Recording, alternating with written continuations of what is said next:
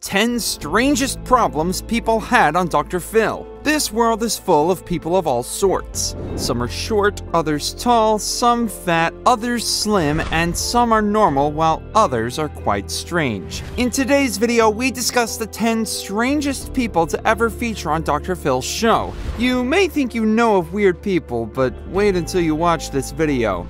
This list will have you questioning the sanity of people in the world altogether. Before we get started, subscribe to our Viral Now channel and hit the bell icon. We don't want you to miss out on any of our new releases. 10. Seven women catfished by the same person. Seven women just learned that the dream man they had met online was not the person they thought he was. Most of the time, in catfish cases, there are usually one, two, or at most three victims. In this case, there are seven different female victims. The perpetrator had stolen the identity of a handsome young man and had lured the women into romantic relationships. They all fell in love with someone that wasn't real. The most shocking part of this case was that the person behind it all wasn't a man, but a lesbian woman. Finally, ready to meet the woman behind this whole thing.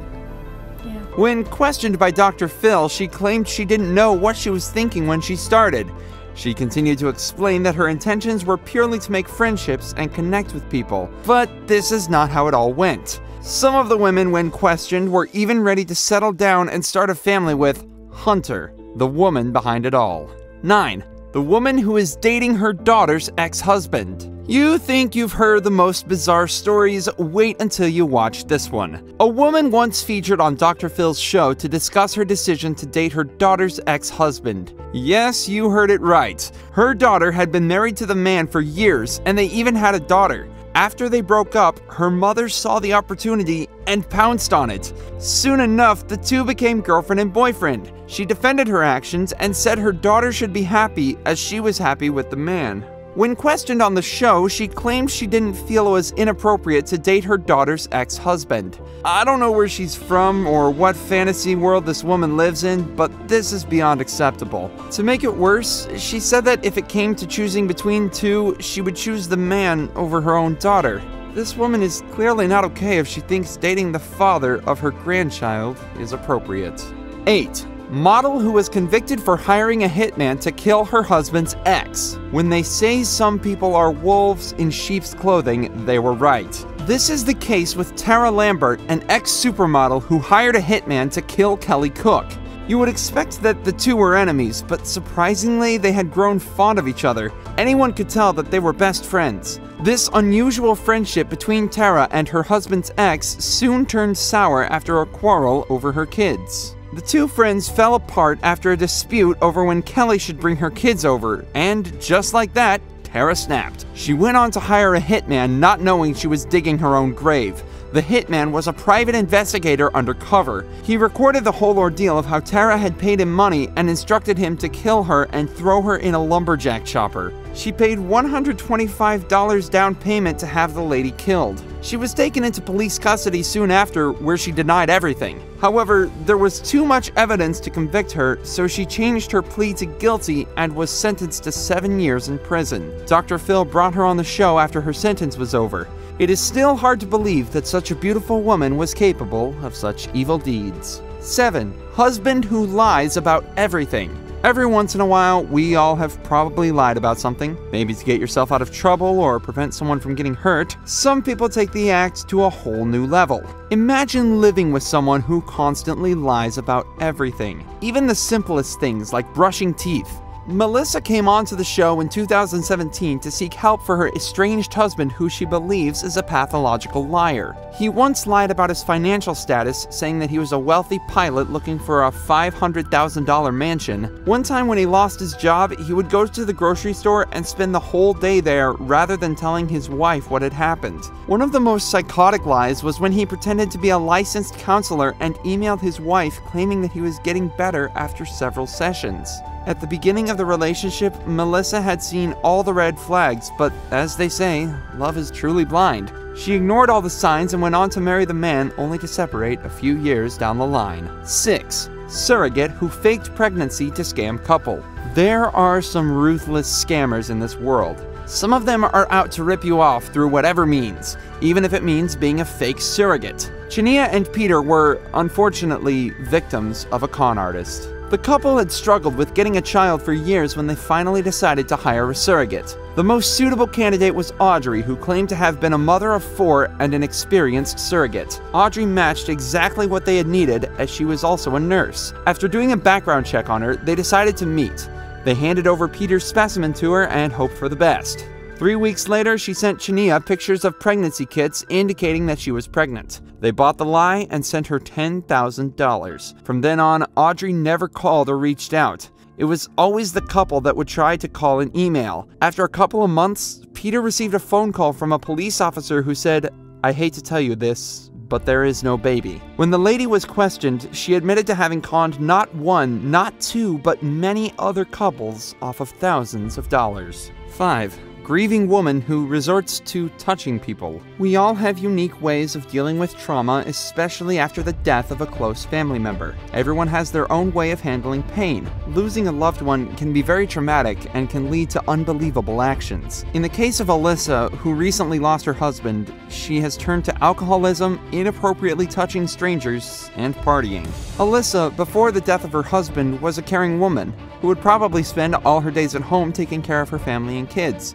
She turned from a family person to a party girl with horrible tendencies of overdrinking, taking drugs, and chain smoking. We don't blame her, grief is painful and unbearable, but she is leading her life in a downward spiral. Her kids would call the neighbors almost every night to tell her their mom hadn't returned home. Her friend had to get a private investigator and police to follow her around just to make sure she didn't drive home drunk. She recently had a concussion after drinking, falling, and hitting her head. The worst part of her grieving process was her habit of touching strangers. She had even tried to wrestle Dr. Phil's staff backstage. She had previously been accused of touching another man below the belt inappropriately. She once made sexual advances to a driver while her son was sitting in the backseat with her. We just hope she gets all the help that she needs and deserves. 4. Woman who wanted to be blind. Amber, also known as Jewel Shuping, hit the headlines when she publicly announced that she wanted to be blind. She, later on, went on to Dr. Phil where she revealed the shocking news to the world. From the age of 12, Jewel was declared legally blind without her glasses. When she turned 13, she convinced herself that she should have been born blind. She started going out without her glasses as she felt comfortable. Her mother had once told her that staring at the sun would turn her blind, so she would sit on the grass and stare right at the rays for hours. When this didn't work, she spent countless hours pretending to be blind. Amber joined an internet group with other people who shared the same feelings. Here, she learned how to blind sim, the act of pretending to be blind. She finally made the decision to go blind by pouring drain cleaner right into her eyes. 3. Woman who claims her husband injects her with poison while she sleeps. Yeah, you heard me right. This woman is convinced that her husband injects her with poison while she sleeps. She even has proof of the syringe marks all over her body. She has pictures of the marks on her forehead, around her eyes, nose, on her back, her chest,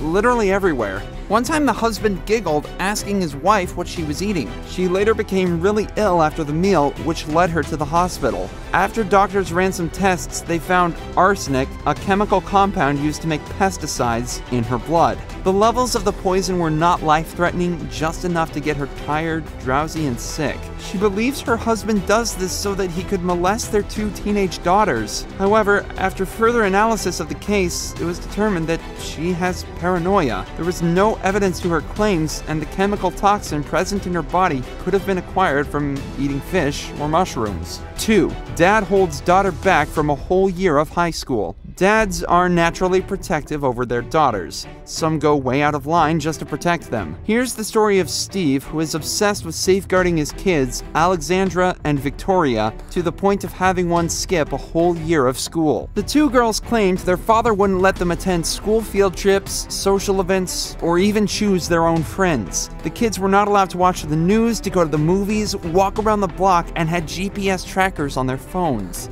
The worst of all was when he made Victoria repeat the 8th grade because he wasn't ready to let her go to high school. She had graduated from the class, passed all her courses, so there was no academic reason behind the decision. Now they are adults and he is still trying to be controlling. When Victoria got pregnant, he kicked her out of the house and constantly pushed her to get an abortion. Victoria moved back home, but she is not allowed to leave the house to see the father of her child. 1. Man who has spent thousands of dollars to create a murder rapping clown image. Nick has spent close to $60,000 to create an image of a murderous clown rapper. His wife claims he stole credit cards from her, but he denied it, saying that he had taken three student loans to finance his fetish. Melissa was attracted to Nick in the beginning. She loved his bad boy attitude and the tattoos he had. He was a hardworking man, and soon they were both financially stable when he had his construction job. Soon after getting married, Nick started being different. He became obsessed with gothic rap music and started skipping work.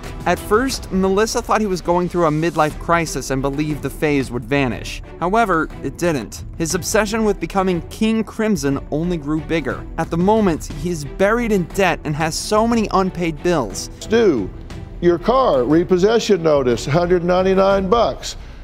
Child support for your prior relationship, $21,292. He currently doesn't have a job and relies on his stepmother to finance all their basic needs, including food. To make it worse, they have a two year old. All he cares about is decorating his house with scary things, painting his face, dressing up like a demonic clown, and convincing people he is the devil through his scary music. That's gonna do it for today's video, everyone. Thank you so much for watching and have an excellent day.